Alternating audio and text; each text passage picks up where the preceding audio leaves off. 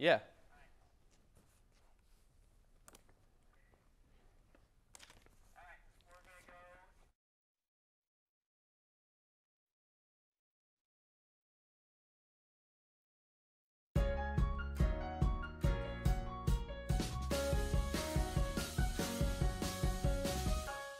Hello, everybody, and welcome into another edition of the Rocky Top Rundown, your one stop shop for all things Tennessee athletics. I'm Joey Peterson. And I'm Bryson Wright.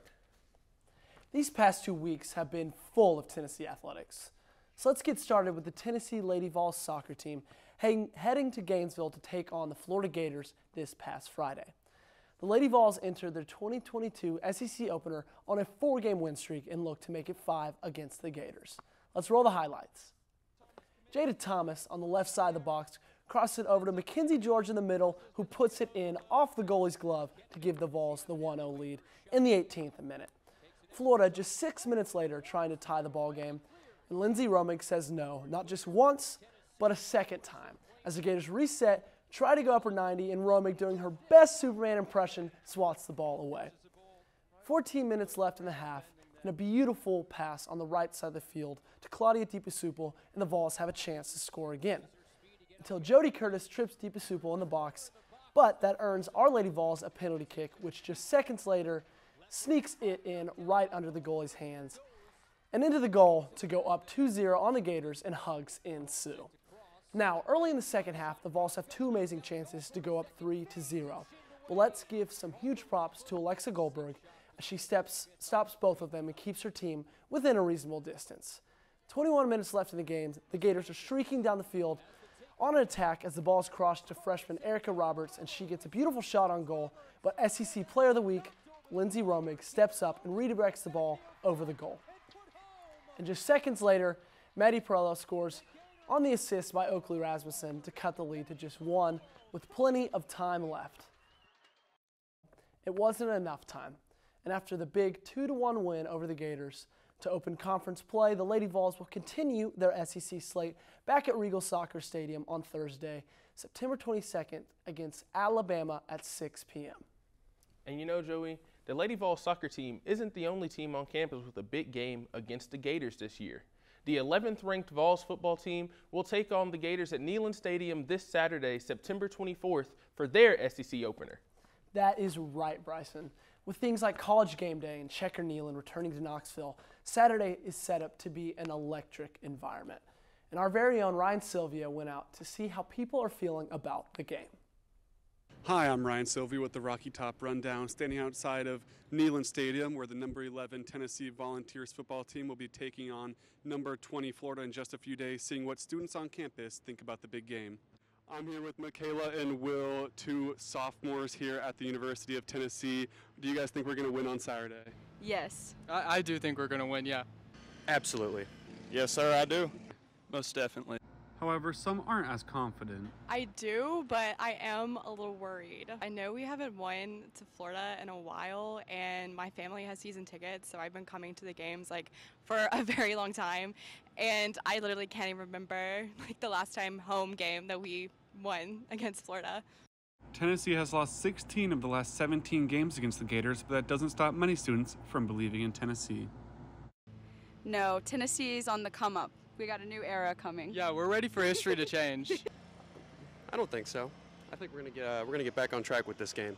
Not at all. New era. Well, as a longtime Tennessee native, I just know that it's kind of like getting kicked in the stomach every time, every time season comes around. But I think with Coach Heupel and the group of guys he has right now, I think we got a pretty good shot at winning.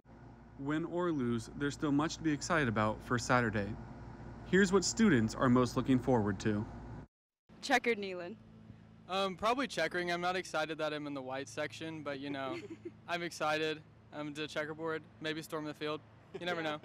The, the checkerboard, that's amazing. It's like I've seen pictures of it. You know, to see it in person is probably gonna be something really special. So that's probably what I'm most looking forward to for that game. Checker and Neyland and beating Florida. Looking forward to getting to the student section, seeing the checkerboard all across the stadium, and watching the Vols run out of the teeth. Well, always the tailgate. Everybody loves the tailgates, but just to go out there and watch our boys play a good game and hopefully get a win. Energy that the student section and the fans bring to the games. Um, and I'm looking forward to how crowded the game's going to be because I know it's sold out. Tennessee students are definitely ready for the big game, but if you can't make it to Neyland Stadium, you can tune in on CBS at 3:30 p.m. Eastern Time. The Rocky Top Rundown will also have more coverage following the game. Thanks, Ryan. Those students look really geared up for the big matchup this weekend. The Lady Vols volleyball team also had a pair of big matchups of their own this past weekend, taking on number 12 Pittsburgh and number 5 Ohio State, both taking place in Pittsburgh. Coming off a tough loss against number 21 Western Kentucky, Tennessee was looking to steal a top 25 win. Let's take a look at the highlights. Starting off with the match against Pitt, we have freshman Claudia Pollock getting her first kill of the game. Pollock would finish with seven kills and a 714 hitting percentage. Here, Morgan Fingall goes for a spike. However, a Lady Panther sprawls out for the dig, and then at the other end, it's Pollock again with the kill. She would go on to have four digs and a block as well. Later on, Pitt's Serena Gray skies up for the kill, giving the Panthers the first set of the series. And as you can see, this one Pittsburgh fan is absolutely loving it. Let's move on to the drama filled ending. Pitt is looking to sweep the Lady Vols and goes up for the, pill, for the kill, but the ball is ruled out of bounds. And now the Vols clawing their way back with Keandrea Granberry. It's ruled out of bounds initially, however, replay shows that a Pitt player tipped the ball, giving the Lady Vols some life. Trying to mount a comeback, Fingall goes for the spike but sends it into the net, and the Lady Panthers walk away with a 3 0 sweep over the Lady Vols. The Lady Vols also played Ohio State in Pittsburgh, where they were swept for the third straight match 3 0. Tennessee kept things close, falling 25 to 23 in the first two sets before falling 25 to 16 in the final frame. Fingall led Tennessee in kills with seven, aces with four, blocks with five, and digs with seven.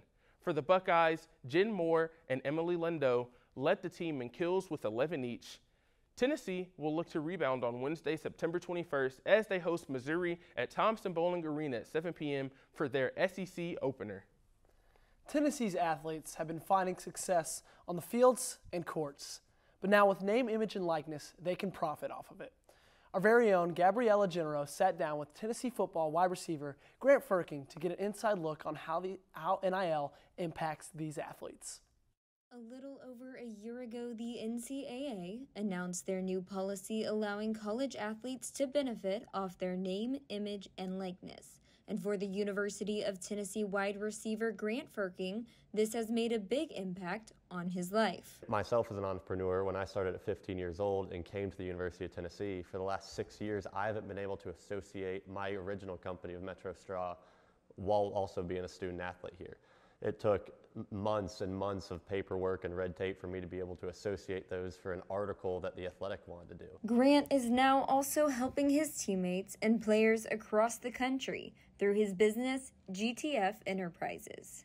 Our whole um, vision is to educate student athletes on basic building blocks of financial education, leadership education, and personal branding. With all the athletes Grant has worked with, he emphasizes the importance of being passionate about the brand they are representing. At University of Tennessee, we've done a variety of deals in a variety of sports. We represent athletes, baseball, basketball, and then the team that I'm on is football.